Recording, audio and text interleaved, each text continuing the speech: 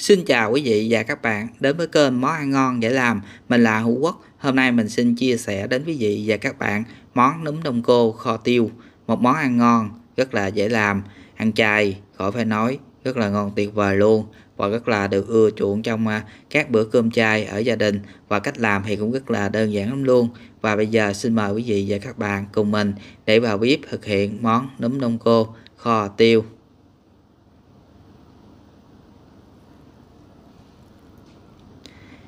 Và đây là tô núm đông cô. Hồi nãy giờ mình đã ngâm cũng khoảng à, hơn 15 phút rồi. Mình ngâm qua, qua nước ấm nha quý vị. Và bây giờ thì mình sẽ rửa lại qua nước lạnh. Mình rửa lại cũng khoảng à, 4 năm nước. Và trong mỗi nước đó quý vị thì mình dắt cho nó thật là khô nha quý vị. Và đây là nước thứ tư nè quý vị. Mình dắt đến khi nào mà mình thấy cái nấm đông cô nó không còn ra cái nước mà màu hơi vàng vàng nữa là được rồi nghe quý vị đó này mình ngâm thì phải cho nó thật là nở to như vậy nè quý vị. Thì khi mình kho với tiêu nó sẽ rất là ngon nha quý vị. Và đây là nước thứ tư, mình dắt cho nó à, thật là khô luôn.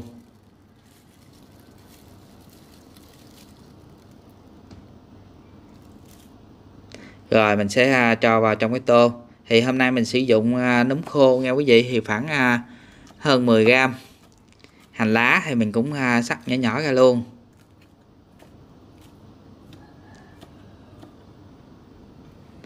Đó, sau một hồi mình đã sắc xong rồi. Thì mình sẽ cho ra cái dĩa sẵn luôn. Để khi nào à, nấm à, đông cô kho tiêu của mình chín mình sẽ cho vào. Hành tím thì mình đập cho nó dập dập rồi sau đó mình cũng băm cho nó à, nhuyễn ra luôn để nữa mình phi. Nếu mà nhà mình ăn thường chay thì có thể mình thay thế hành lá hành tím bằng hành burgo nghe quý vị.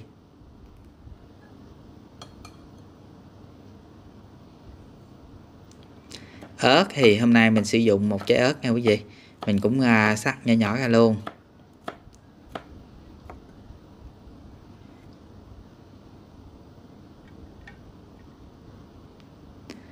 Và nấm đông cô thì mình cũng à, uh, sắc ra làm 4 hoặc là sắc ra làm hai nha quý vị tùy theo uh, nấm bự hay nấm nhỏ. Hôm nay mình sử dụng uh, khoảng hơn uh, 10 gram nấm khô nha quý vị. Nấm đông cô thì rất là nhẹ nhưng mà khi mình ngâm thì nó nở ra rất là nhiều nghe quý vị.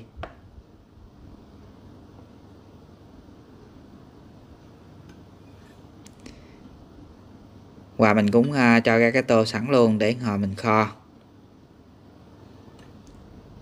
Và bây giờ mình bắt cái chảo lên mình cho dầu ăn vào. Khi mà dầu đã nóng lên thì mình sẽ cho hành tím vào để mình phi và một ít hành lá vào nữa nghe quý vị, mình phi chung luôn. Trong lúc phi thì mình đảo à, đều lên luôn.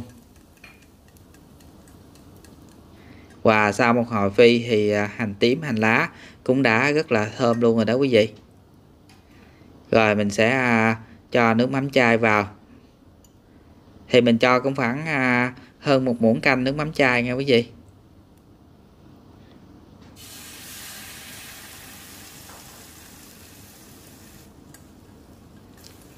Rồi mình đảo đều lên.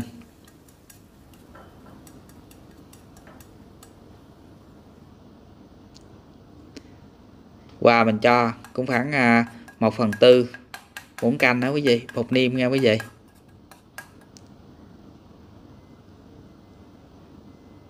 Và nước màu thì mình cho cũng khoảng hơn nửa muỗng canh nước màu vào.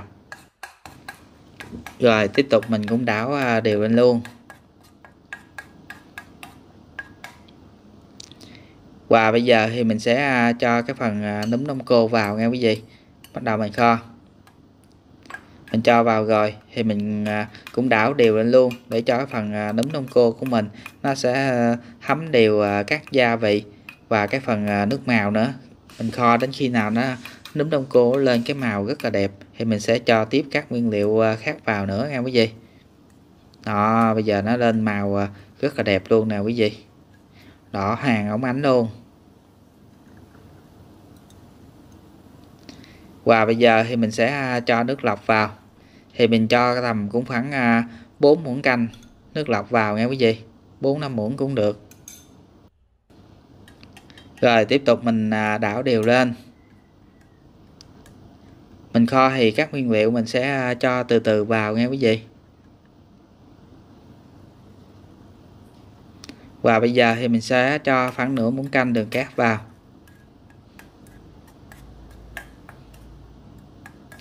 Nhà mình à, đông thì có thể mình à, kho cái phần à, nấm đông cô nhiều hơn cũng được nha quý vị. Hôm nay mình thì chỉ kho một ít à. Khoảng hai người ăn là vừa nghe quý vị.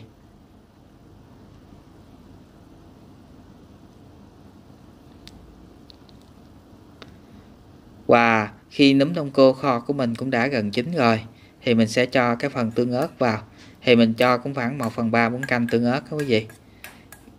Rồi sau đó mình cũng đảo đều lên. Cái phần tương ớt này nó cũng không có cay lắm nghe quý vị. Cho nên à, mình cho vào chủ yếu mình tạo à, cho cái màu mà nấm đông cô kho của mình đó quý vị. Nó thêm à, rực rỡ hơn đẹp hơn thôi.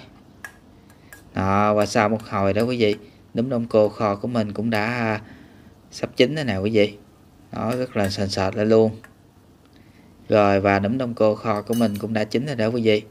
Rồi, mình sẽ à, tắt lửa luôn nha quý vị. Khi mà mình tắt lửa thì mình cũng đảo đều lên luôn. Để hồi à, nó dễ bị dính vào chảo. Khi mà mình kho nó cũng đã quá sệt rồi. Và bây giờ mình sẽ à, gấp hết ra dĩa luôn. Hôm nay mình kho cũng đầy một dĩa nhỏ nha quý vị.